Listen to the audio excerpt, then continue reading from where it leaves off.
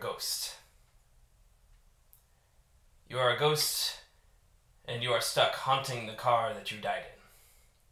You see, when the end of the world came, when the walls fell, you were among the people that tried to escape from the city, piling into station wagons, pickup trucks, searching for the safety of the open road. Instead, what you found is the worst traffic jam in history. The worst and the last. When death finally came, it was fast and it was sudden. And you don't remember exactly what it was, but it left you here, alone, in the middle of nowhere. You can hear faint stirrings from cars nearby, other ghosts trapped in other cars, but for some reason, you can't speak to them. The worst thing about it is that you have you have this thing inside of you, this this story, your story, the story that only you can tell. It's stuck inside you, and it, and it has to come out, and it has to be heard by living ears. But for miles and miles, there's no one. And so you wait, and days become months and years, and who knows how long time passes, until one day, off in the distance, you see a cloud of dust. You see a lone rider crossing the lanes. You think, this is it. This could be your chance. Your chance to be free at long last. But as the rider approaches, you see the speed that their mechanical horse is riding. You see the set, determined face of the rider. And you know that they will stop for nothing. And still, you cry out to them. Don't.